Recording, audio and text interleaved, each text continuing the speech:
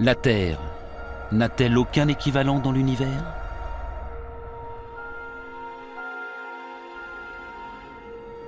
Ou existe-t-il une planète qui lui ressemble, là, quelque part? Existe-t-il une forme de vie ailleurs que sur Terre? La recherche de formes de vie extraterrestres constitue l'un des plus grands défis technologiques humains. Et aujourd'hui, les chercheurs explorent de nouvelles voies. La recherche d'informations sur des traces de vie nous emmène au-delà de la Terre, jusque dans le système solaire. Menant les investigations, on trouve des télescopes sophistiqués scrutant le ciel sans répit et une armada de sondes robotisées explorant les confins de notre système solaire. Tout cela pour nous faire voir les planètes, les lunes, les astéroïdes et les comètes sous un jour totalement nouveau. On découvre des choses qu'on n'aurait jamais découvertes avant. Ces recherches ont dévoilé des mondes étranges et inattendus. On a pu y voir des lacs, des tempêtes, des précipitations. Des environnements rudes, animés par des forces puissantes et souterraines. Des mondes susceptibles de révéler des océans cachés à des centaines de millions de kilomètres de la chaleur du Soleil. Récemment, le rythme des découvertes s'est accéléré de manière étourdissante. De nouvelles missions visent à percer le mystère des conditions d'habitabilité des planètes. Elles jettent un regard neuf sur les éléments constitutifs du vivant dont la présence pourrait avoir été sous-estimée jusqu'ici. Et ce, pas uniquement dans notre système solaire, mais peut-être dans toute notre galaxie. Pour la première fois dans l'histoire de l'humanité, certaines planètes au-dessus de nos têtes nous rappellent la nôtre. Nous vous convions à une odyssée spatiale en quête de vie extraterrestre.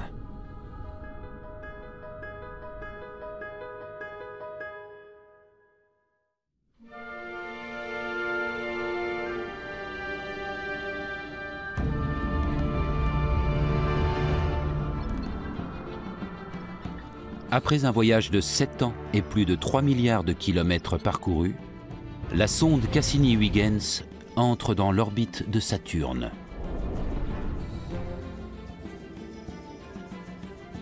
Elle se dirige vers la plus imposante de ces 62 lunes, Titan. Plus grande encore que Mercure, Titan se dissimule sous une épaisse couche de brume orangée. Personne n'a encore jamais vu sa surface. Mais Cassini libère son petit module d'exploration, Huygens, qui va se mettre à la tâche. Cette mission va bousculer les conceptions admises jusqu'ici sur l'existence de la vie extraterrestre. Ces images ont été enregistrées par Huygens alors qu'il perçait les nuages et la brume.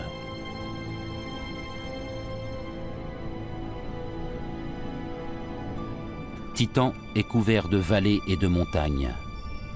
Son paysage rappelle curieusement celui de la Terre.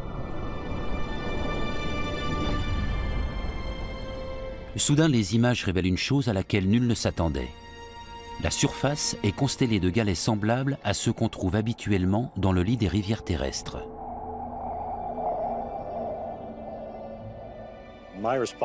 Je n'en revenais pas. La surface présentait l'aspect d'un désert. Et pourtant, les données fournies par le module indiquaient que le sol était humide.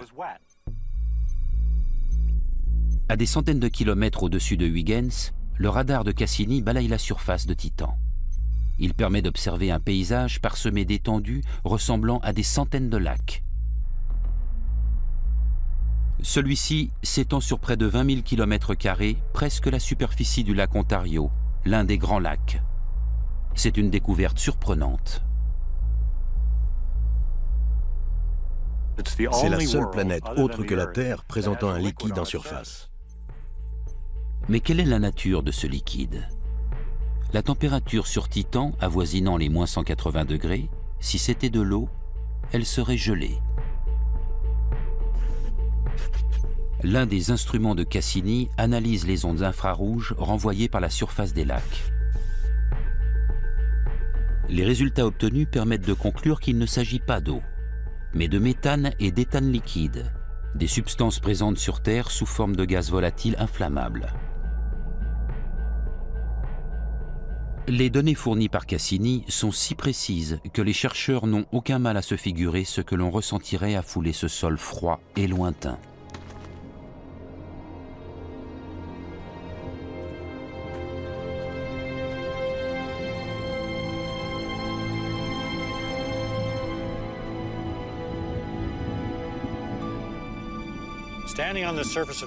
Imaginez-vous, depuis la surface de Titan, Saturne qui se découpe dans le ciel, énorme et immobile comme une porte vers une autre dimension. Vous voyez des lacs de méthane liquide et sur la ligne d'horizon des montagnes faites d'une glace si dure qu'on croirait de la pierre. Ces montagnes ont été sculptées par le méthane liquide qui constitue ces lacs. En levant les yeux vers Titan, vous voyez arriver un orage, ou même une série d'orages.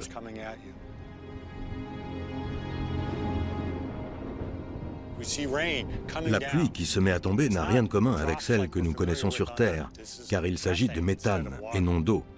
Elle tombe beaucoup plus lentement à cause de la gravité et les gouttes sont plus grosses.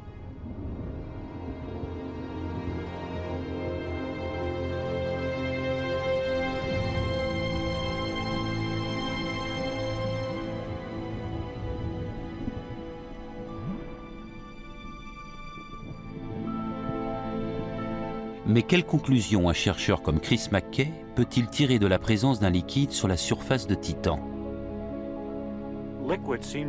L'élément liquide jouant un rôle crucial dans l'apparition de la vie, il y a peut-être des petits organismes dans ce méthane liquide qui s'accommoderaient des basses températures. Rien ne dit pour l'instant que des organismes vivants de type microbien vivent dans ces lacs. Mais si cela venait à être prouvé, il y aurait là de quoi changer fondamentalement les conceptions sur la vie extraterrestre.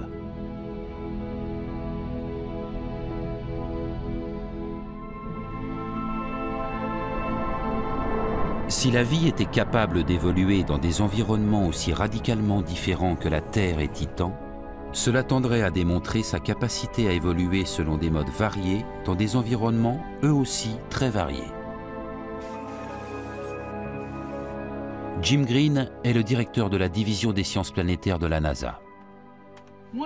L'une des questions qui nous taraude est de savoir si nous sommes seuls. C'est une interrogation fondamentale.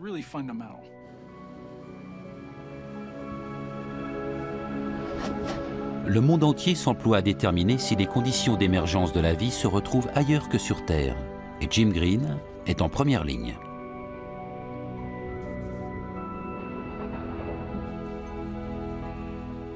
La recherche d'informations sur des traces de vie nous emmène au-delà de la Terre, jusque dans le système solaire.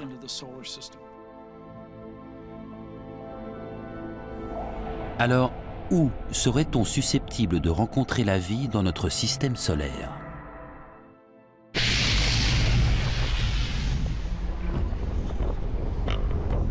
Partons du Soleil. La première planète que l'on découvre, c'est Mercure.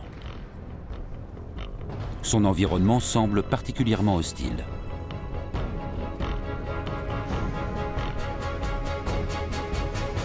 En mars 2011, la sonde Messenger, lancée par la NASA, est le premier engin spatial à se placer sur l'orbite de cette petite sphère de roche et d'acier.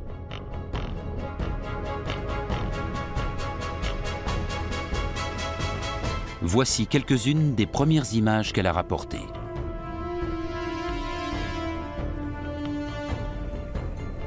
Mercure étant trois fois plus proche du Soleil que la Terre, sa face exposée à l'astre lumineux atteint des températures de 427 degrés. Tandis que sur sa face non exposée, ces dernières tombent à moins 143 degrés. Cette planète est le désert des déserts. L'existence d'une vie sur son sol semble plus qu'improbable.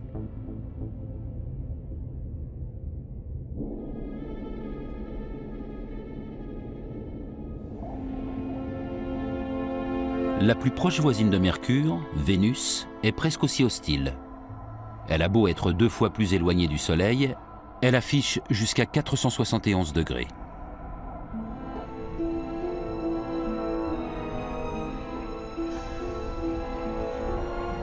Des décennies d'observation ont permis d'établir qu'elle était enveloppée d'un voile de dioxyde de carbone et de nuages toxiques d'acide sulfurique. Ces images radars révèlent l'existence de milliers d'anciens volcans sur un sol assez chaud pour y faire fondre du plomb. Et avec une pression atmosphérique 90 fois plus importante que celle de la Terre, difficile d'imaginer que quoi que ce soit puisse vivre ici.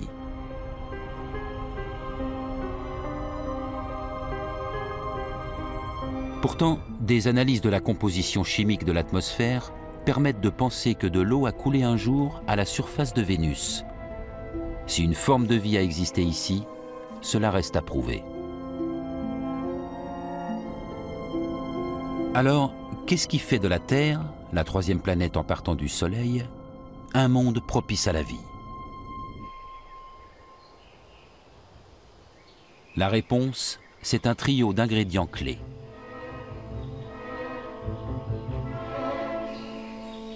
Tout d'abord, le vivant se compose de molécules organiques formées de divers éléments, comme le carbone, l'azote, l'hydrogène et l'oxygène, entre autres.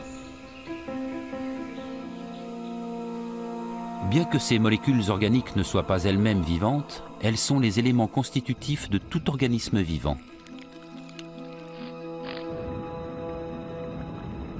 La vie a également besoin d'un liquide, comme l'eau. Dans l'eau, les molécules organiques de base peuvent se mélanger, interagir et se complexifier. Le dernier ingrédient, c'est une source d'énergie, comme le Soleil, dont la fonction est de permettre les réactions chimiques qui poussent la vie à évoluer du plus petit microbe jusqu'à nous. Le jour où ces trois ingrédients se sont trouvés en présence, il y a plusieurs milliards d'années, la vie a réussi à s'implanter. Et elle se maintient depuis lors jusque dans les environnements les moins accueillants, comme ici.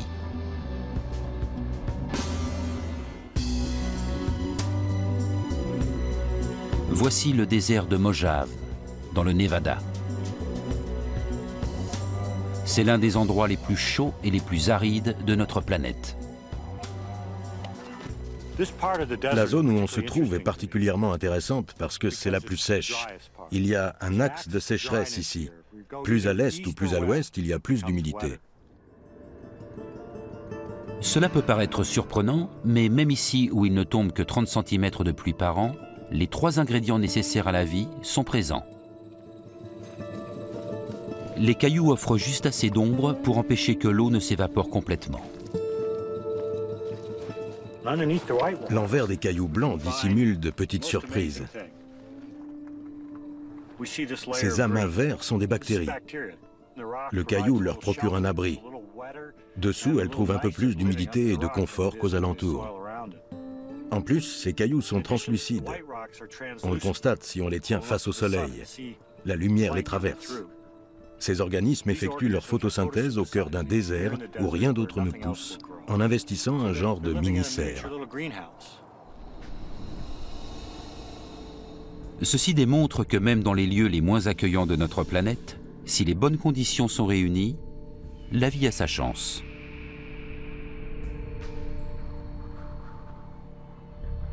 Pour les chercheurs comme Chris McKay, la question est de savoir si la Terre est la seule planète à proposer les conditions nécessaires à la vie.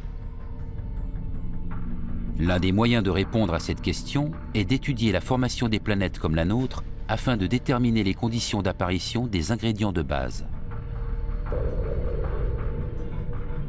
Pour cela, il nous faut remonter à 4 milliards 600 millions d'années en arrière à la naissance de notre système solaire. Un immense nuage de poussière et de gaz commence à se contracter sur lui-même alors que la pression des gaz augmente. La température en son centre grimpe jusqu'à atteindre plusieurs millions de degrés, jusqu'à ce que l'énergie issue du jeune soleil balaye au loin certains des nuages. illuminant de ce fait le système solaire naissant qui va voir l'apparition des planètes.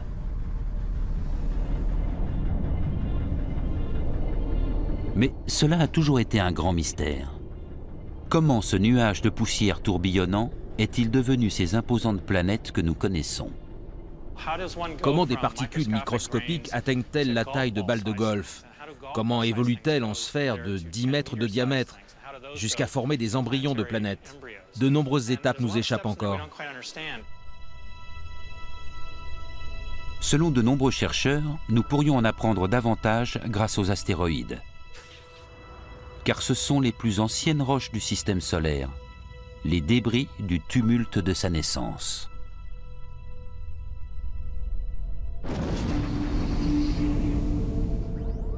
En 2003, les Japonais envoient la sonde Hayabusa accomplir une bien audacieuse mission. Il s'agit de se poser sur un astéroïde, d'y collecter des échantillons de poussière, puis de les rapporter sur Terre. Sa cible est l'astéroïde Itokawa, un objet de 550 mètres de long, filant dans l'espace à 90 000 km/h. Tenter d'atterrir sur Itokawa revient un peu à tenter de frapper une balle lancée à pleine vitesse à l'aide d'une autre balle lancée à pleine vitesse.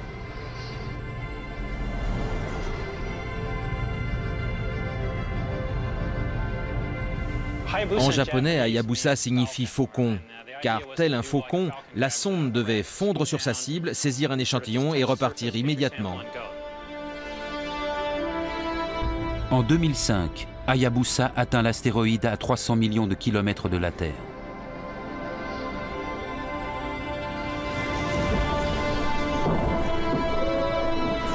Il n'y reste que le temps de collecter son échantillon. Il lui faudra 5 ans pour rapporter sur Terre la poussière d'astéroïdes. Mais Hayabusa ayant été pourvu de lasers, ce temps est mis à profit pour relever la taille et la masse d'Itokawa. Des informations qui permettent aux chercheurs de déterminer la structure interne de l'astéroïde. Leur découverte pourrait bien offrir une première grille de lecture des processus de formation de la Terre. On n'est pas en présence d'un bloc homogène. Il est constitué de différents amas rocheux allant de la taille d'une maison à celle d'un grain de poussière. Si l'on pouvait observer l'intérieur d'Itokawa, voici ce qui s'offrirait à notre regard. Une foule d'astéroïdes divers agglomérés par la force de la gravité.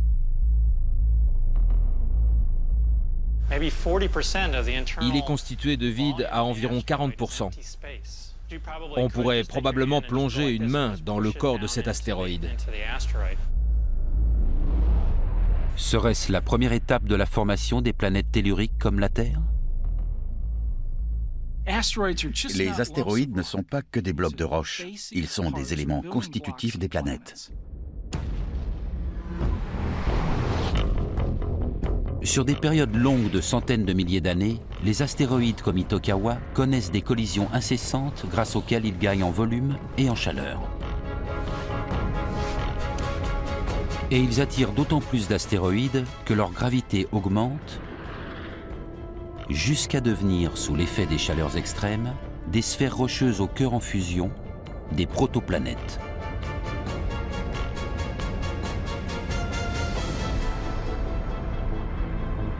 Des simulations effectuées sur un ordinateur montrent que 10 millions d'années après la naissance du système solaire, une centaine de protoplanètes de taille variée, allant de celle de la Lune à celle de Mars, étaient en orbite autour du Soleil. Alors pourquoi le système solaire est-il tout autre aujourd'hui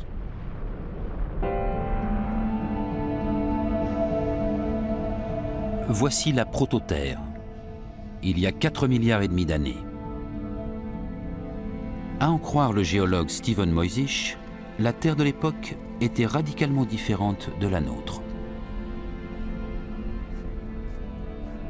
Il faut imaginer un paysage de lave noire parsemé de traces d'impact. Sous vos pieds, essentiellement du basalte, le produit refroidi de la roche en fusion.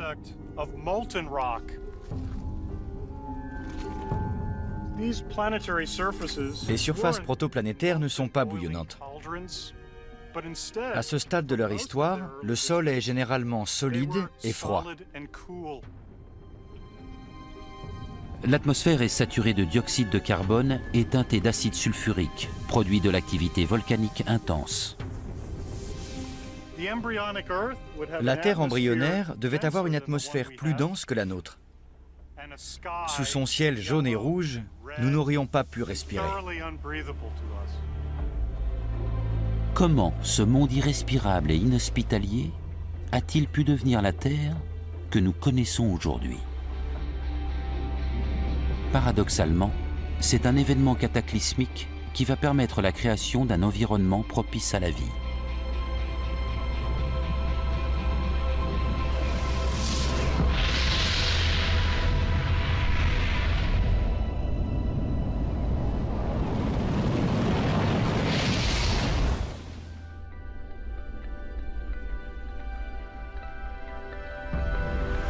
Une protoplanète de la taille de Mars vient de se fracasser contre la jeune Terre. Le choc est si violent que la surface terrestre fond. Notre planète ingérant l'intruse grossit d'autant, non sans rejeter dans l'espace des éclats de roches en fusion qui s'aggloméreront pour former notre Lune.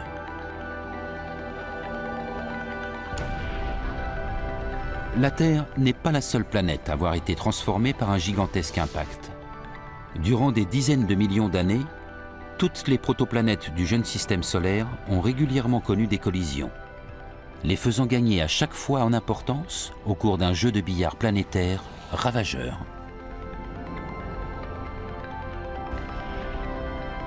C'est le processus qui a engendré les quatre planètes telluriques du système solaire actuel. Mercure, Vénus, la Terre et Mars.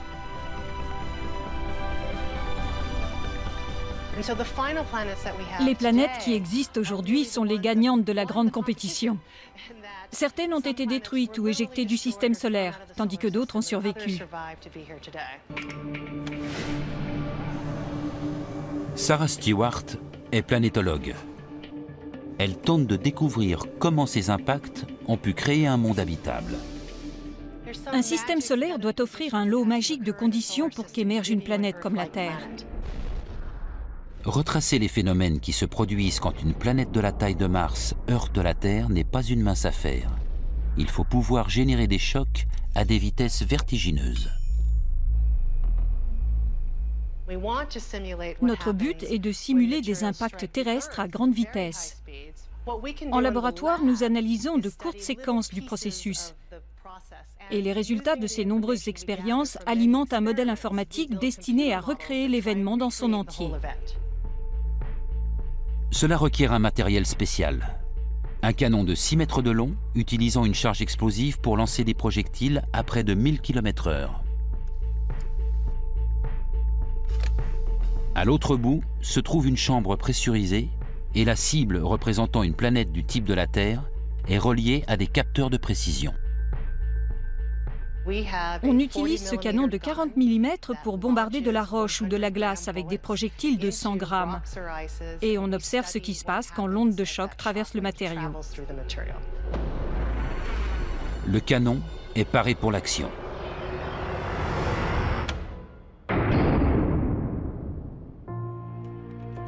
À chaque fois, on procède à un relevé des températures et des ondes de choc générées dans les différents matériaux entrés en collision. Les résultats viennent enrichir les modèles informatiques illustrant les phases finales de la formation des planètes. Ces dernières années, on a pris conscience de l'importance du fameux dernier impact géant. C'est probablement lui qui change tout qui fait qu'une planète va ressembler plutôt à la Terre ou plutôt à Mercure.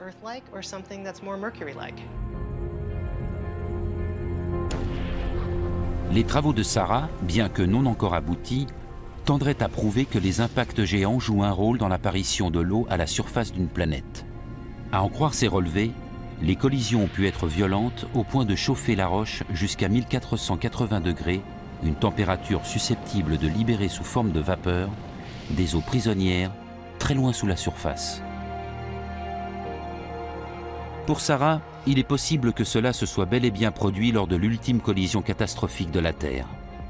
Après les tourments du feu, à la faveur d'une phase de refroidissement s'étendant sur des millions d'années, cette vapeur se serait condensée puis serait tombée sous forme de pluie, couvrant la surface de mer et d'océan.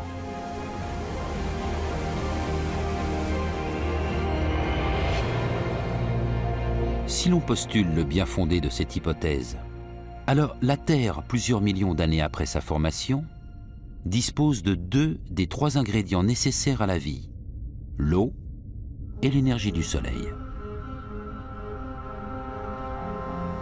Mais qu'en est-il à ce stade des molécules organiques, les éléments constitutifs du vivant?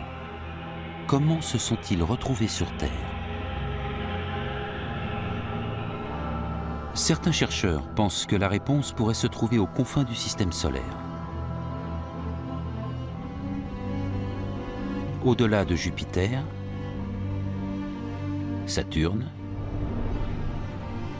Uranus et même Neptune. Ici, à plus de 5 milliards de kilomètres du Soleil, s'étend un vaste disque de comètes et de débris qu'on appelle la ceinture de Kuiper. À l'instar des astéroïdes, les comètes sont des vestiges des premiers temps du système solaire. Elles sont composées de roches, mais aussi de glace, une glace qui ne gèle qu'à cette distance du Soleil.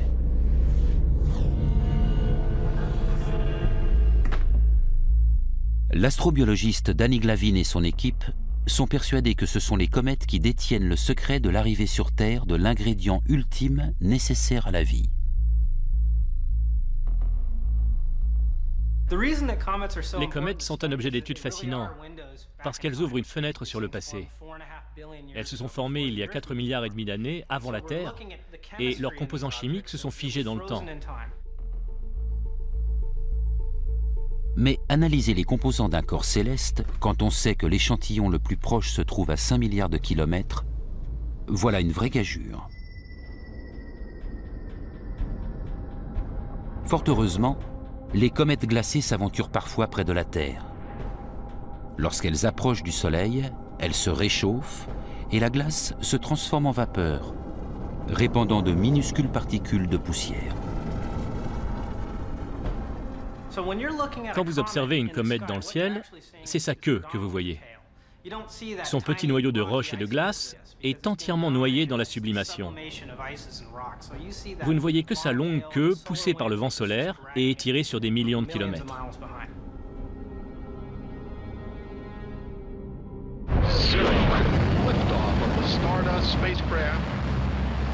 Une fusée Delta II est propulsée dans l'espace. À son bord, la sonde Stardust.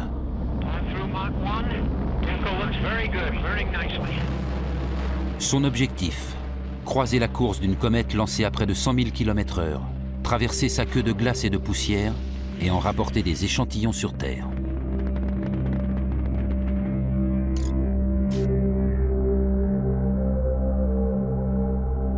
À 390 millions de kilomètres de la Terre, Stardust s'approche de la comète Wild 2. Fonçant vers son cœur, elle recueille ces images de son noyau solide et glacé.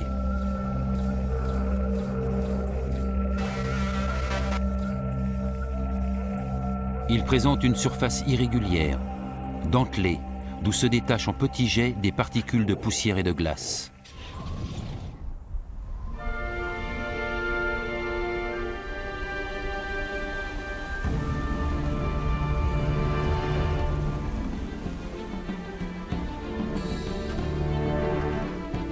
L'astronome John Spencer est spécialiste des objets extérieurs au système solaire.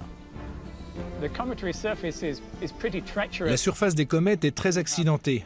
Vous avez des pics sauvages hauts de plusieurs centaines de mètres, des précipices, des couches de sol qui semblent avoir été littéralement déchirées.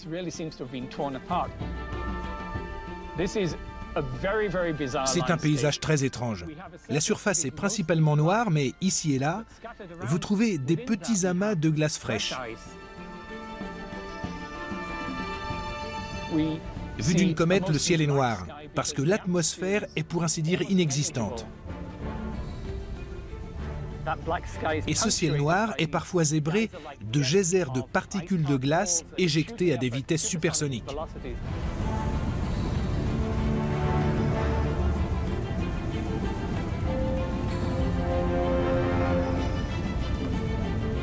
Ces geysers glacés mitraillent Stardust. Il a subi des impacts à près de 22 000 km/h, six fois la vitesse d'une balle tirée d'une arme. Stardust s'en tire sans une égratignure. Et le 15 janvier 2006, les échantillons reviennent sur Terre. Les échantillons ont atterri dans l'Utah, les premiers matériaux issus d'une comète. Tous les astrobiologistes du monde étaient comme fous. On allait enfin pouvoir analyser de la poussière de comète.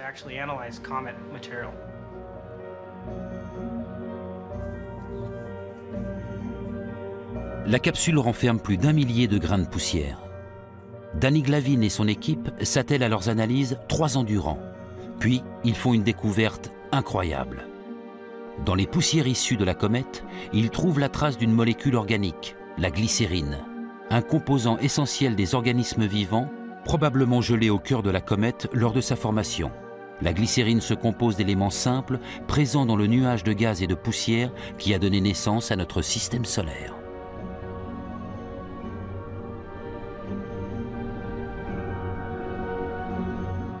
La glycérine est un acide aminé. C'est l'un des éléments constitutifs du vivant.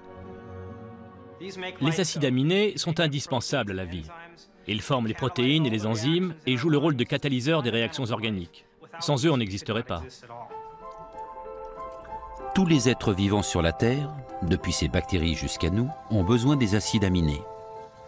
La glycérine a ceci de particulier qu'elle est le plus commun des 20 acides aminés nécessaires à la fabrication des protéines l'un des principaux matériaux du vivant. Cette découverte indique que les comètes pourraient bien être la source des matériaux organiques nécessaires à l'éclosion de la vie sur Terre. On a prouvé que les comètes pourraient avoir fourni les ingrédients de la vie terrestre. Mais qu'est-ce qui pourrait bien avoir poussé les comètes à venir depuis les confins du système solaire s'écraser sur Terre pour y déposer ces composés organiques?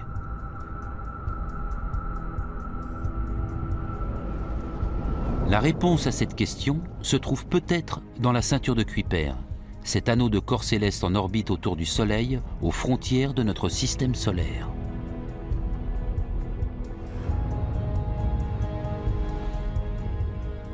Quand on a découvert la ceinture de Kuiper, on pensait voir ces objets dessiner une belle orbite circulaire autour du Soleil.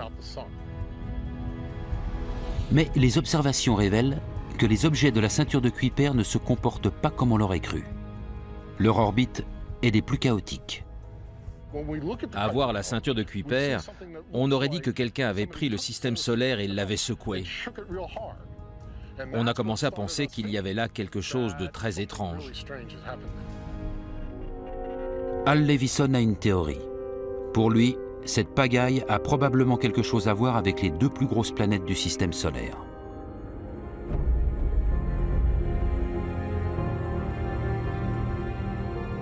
Jupiter est tellement énorme qu'elle pourrait avaler plus de 13 000 terres. Saturne, quant à elle, avec ses immenses anneaux de glace, équivaut à 95 fois la masse terrestre. Et quand la taille est gigantesque, la force gravitationnelle l'est aussi. Tout ce qu'on observe découle de l'influence de Jupiter et de Saturne. Al Levison se demande si le chaos de la ceinture de Kuiper ne résulterait pas de l'intrusion destructrice d'une planète. Afin d'en savoir plus, il procède à de nombreuses simulations sur ordinateur. L'un des modèles générés parvient à recréer les conditions de la ceinture de Kuiper actuelle. Revenons 3 milliards 900 millions d'années en arrière. La durée d'une révolution de Saturne autour du Soleil équivaut exactement à la durée de deux révolutions de Jupiter. Cette coïncidence des orbites provoque à chaque rencontre des planètes une très forte poussée gravitationnelle qui éloigne Saturne du Soleil et déstabilise les orbites des deux planètes les plus éloignées, Uranus et Neptune. Le jeu d'influence entre Jupiter et Saturne a totalement détraqué les orbites d'Uranus et de Neptune. Uranus et Neptune sont poussés sans ménagement vers la ceinture de Kuiper.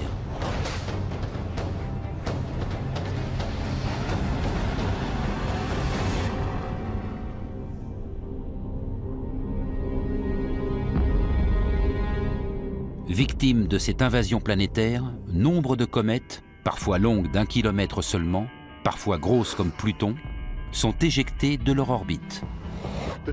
Le disque a explosé. C'était une vraie partie de bowling. Tout s'est retrouvé éparpillé. Résultat, 100 millions d'années durant, les comètes projetées en direction du système solaire par Uranus et Neptune vont heurter violemment tout objet se trouvant sur leur passage.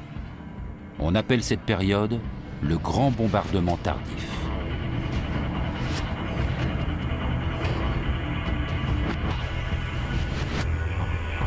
La Terre n'y échappe pas.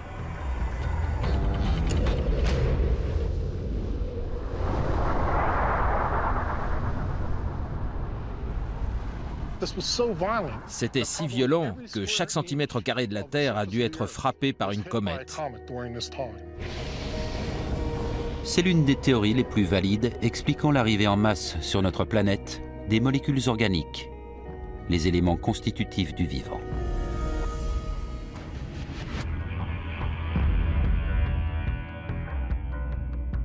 Certaines traces susceptibles d'étayer la théorie du grand bombardement tardif euh, sont visibles à la surface d'autres planètes et lunes du système solaire, les cratères d'impact.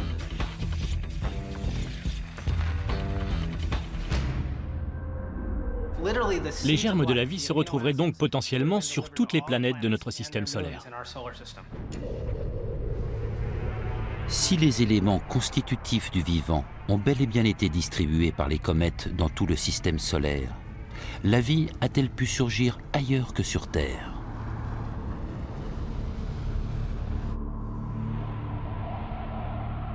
Il est très peu probable qu'il existe des organismes vivants sur Vénus ou Mercure aujourd'hui, puisque les sondes spatiales n'y ont trouvé aucune trace de cet autre ingrédient nécessaire à la vie, l'eau sous forme liquide.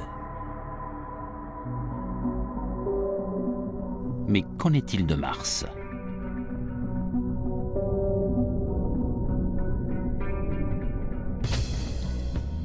À ce jour, on n'y a encore découvert aucun composé organique, ce qui n'empêche pas les spécialistes d'y chercher les traces des autres conditions nécessaires à la vie.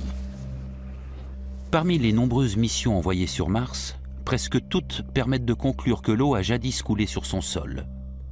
Sur ces images prises par des satellites en orbite autour de Mars, on voit nettement se découper d'immenses canyons excavés par des flots torrentiels et des vallées formées au gré de rivières impétueuses. Malheureusement, tout indique que cette eau a disparu il y a des milliards d'années, lorsque Mars s'est refroidi et qu'elle a perdu son atmosphère.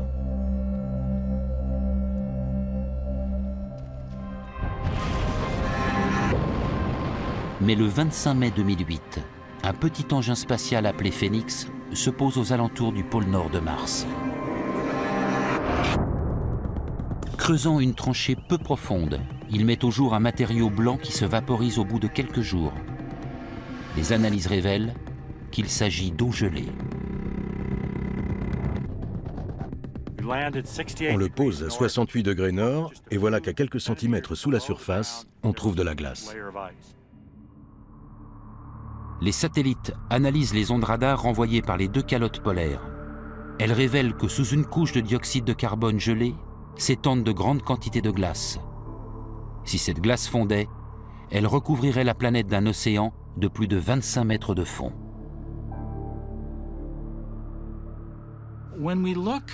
Mars recèle un véritable réservoir aquatique. Ça nous a estomaqués. On n'aurait jamais cru que tant d'eau se dissimulait sous sa surface. Ces mêmes satellites en orbite autour de Mars découvrent aujourd'hui que la glace se cache également dans les profondeurs des sous-sols des déserts martiens. En apparence, Mars est un désert, mais en fait, elle recèle beaucoup d'eau sous forme de glace. Mars est un cube de glace recouvert de terre. Ce qui ne veut pas forcément dire qu'on est près d'y déceler de la vie. Là-bas, la glace ne fond pas de la même manière que sur Terre.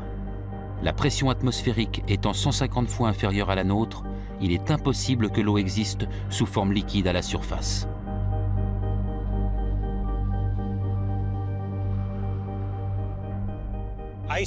Sur Mars, la glace se comporte comme la glace carbonique sur Terre, c'est-à-dire qu'elle passe directement de l'état solide à l'état gazeux, sans passer par la phase liquide.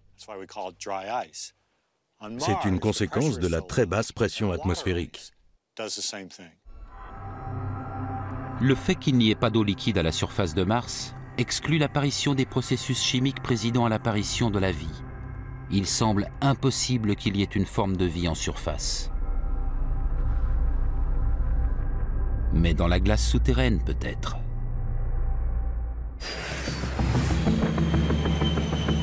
Un groupe de chercheurs rassemblés dans l'un des lieux les plus froids de la Terre entend essayer de répondre à cette question. Nous sommes dans les vallées sèches de l'Antarctique, l'un des déserts les plus rudes au monde. Ici, sous une fine couche de terre gelée, on trouve une glace très proche de celle de Mars.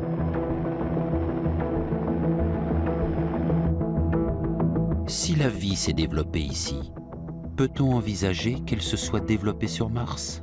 On a transposé Mars en Antarctique. On fait des prélèvements dans ce sol quasi-martien pour récolter de la glace quasi-martienne dans l'espoir de découvrir des micro-organismes qui pourraient exister sur Mars. Au point de jonction de la Terre et de la glace, l'équipe découvre une fine couche d'eau liquide. Et lorsqu'ils observent l'échantillon au microscope, quelle n'est pas leur surprise de constater que quelque chose bouge. On a découvert de la vie dans cette glace. C'est incroyable. Les micro-organismes pullulent dans cette fine couche d'eau, mais de manière très éphémère. Ils sont la plupart du temps gelés et ne se réveillent que quelques semaines au temps chaud.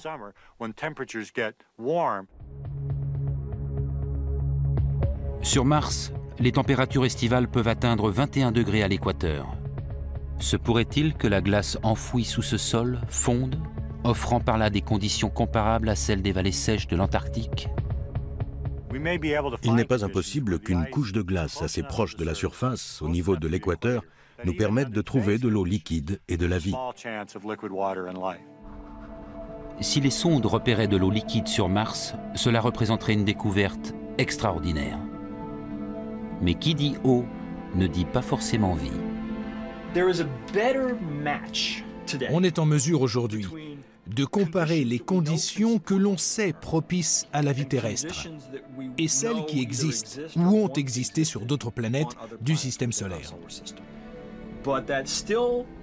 Mais cela ne nous renseigne pas sur les conditions qui ont permis l'émergence des toutes premières formes de vie. Comment se fait la genèse? Comment passe-t-on de l'inerte au vivant? Les conditions qui ont existé sur Mars ont-elles jamais permis cela?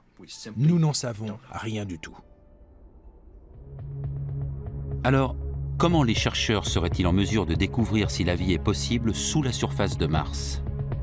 Une découverte récente, encore controversée, ouvre une nouvelle voie. Un télescope de la NASA, enregistrant depuis la Terre des longueurs d'onde infrarouges, a détecté quelque chose d'étrange dans l'atmosphère de Mars. La présence de méthane.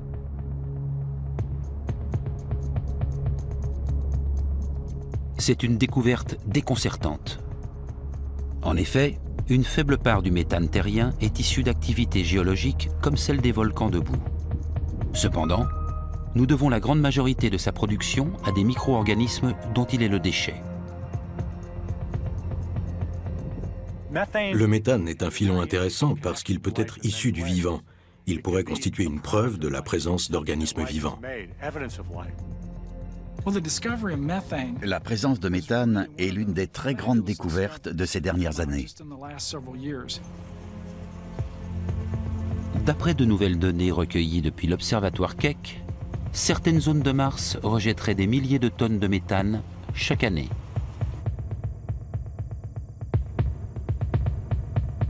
Mais alors, d'où vient ce méthane? C'est un phénomène saisonnier. Il semble que ce soit en été que Mars libère le plus de méthane. Les données sont encore insuffisantes, elles ne renseignent pas les chercheurs sur la provenance du méthane. Cependant, quelle qu'en soit la source, il est tentant de considérer cette découverte comme un tournant dans l'étude de Mars. Le méthane peut être d'origine biologique, ce qui serait fantastique, et il peut être d'origine géologique, ce qui serait également formidable parce que ça indiquerait que Mars est une planète active. Déterminé à en savoir plus, la NASA s'apprête à retourner sur la planète rouge. Cette fois, l'une de ses missions principales sera de rechercher des molécules organiques, les éléments constitutifs du vivant.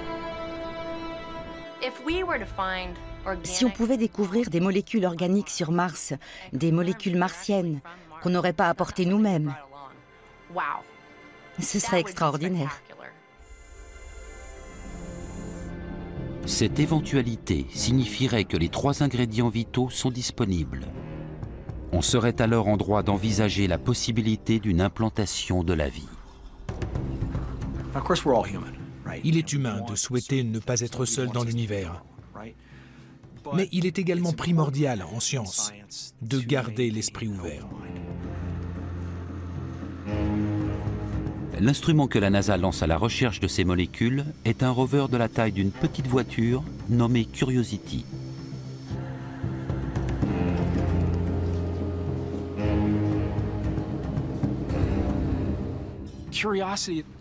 Pour moi, Curiosity représente notre premier grand espoir de détecter de la vie sur Mars. Curiosity renferme les instruments les plus sophistiqués jamais envoyés sur Mars. Il va fouiller, moudre et griller les roches martiennes avant de procéder à des analyses spectroscopiques afin de déterminer si les échantillons contiennent les particules chimiques spécifiques du vivant. Il n'est pas simplement géologue, il est aussi astrobiologiste. Il va scruter les matériaux qui l'entourent comme jamais auparavant. Mais même avec un panel d'instruments ultra pointus, trouver des molécules organiques ne sera pas chose facile. Ça va être compliqué, parce qu'il y a de nombreux processus susceptibles de détruire les molécules organiques. Il y a les radiations spatiales, il y a aussi les composants oxydants de l'atmosphère martienne. Il s'agit donc de trouver des molécules organiques ayant été protégées pendant un temps de l'environnement martien. La barre est même placée encore plus haut, car Curiosity a pour mission de rechercher des composés organiques spécifiques issus d'organismes vivants. Des preuves que la vie a existé un jour sur cette planète.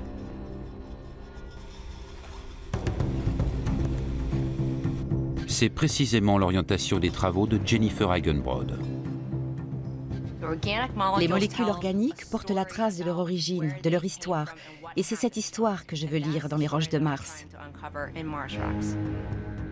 Cette mission pourrait bien changer notre vision de Mars. D'objet inerte, il passerait à berceau de la vie. Si Curiosity rapportait une preuve que la vie a existé sur Mars, cela aurait d'immenses implications. Si la vie a pu éclore deux fois dans notre petit système solaire, ça voudrait dire qu'elle est partout.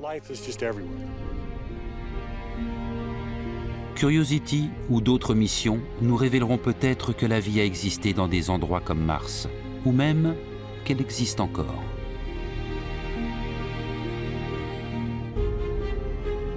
Mais même si les chercheurs en venaient à conclure qu'il n'y a aucune vie sur les planètes voisines de la Terre, ça ne voudrait pas dire que nous sommes seuls.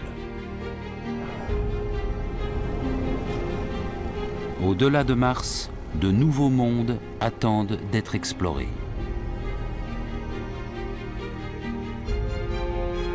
Les lointaines lunes en orbite autour des monstres Jupiter et Saturne. Des satellites étranges tels Titan, drapés dans son voile orange. L'un est criblé de centaines de volcans. Un autre est luisant de glace et mystérieusement zébré. Et voyez cette lune minuscule, gravée de fissures profondes. Aujourd'hui, on voit dans ces planètes immenses flanquées de leur lune quasiment des systèmes solaires en miniature. Des sondes font sur ces lunes des découvertes de nature à changer nos conceptions sur l'existence de la vie extraterrestre. Elles découvrent de nouvelles sources d'énergie, des océans d'eau liquide dissimulés au regard, des molécules organiques précipitées dans l'espace. Et bien au-delà de ces mondes, des chercheurs explorent des systèmes solaires entiers attachés à d'autres étoiles. Il existe sûrement des centaines de milliards de planètes comparables à la Terre qui offrent toutes les conditions de la vie. Plus les chercheurs s'attachent à explorer ces lieux lointains à l'aide de technologies toujours plus avancées, plus ils constatent que les conditions propices à la vie ne sont pas une spécificité terrestre et que les forces en jeu dans le vivant ont toutes les chances de se déployer ailleurs, dans notre galaxie et au-delà.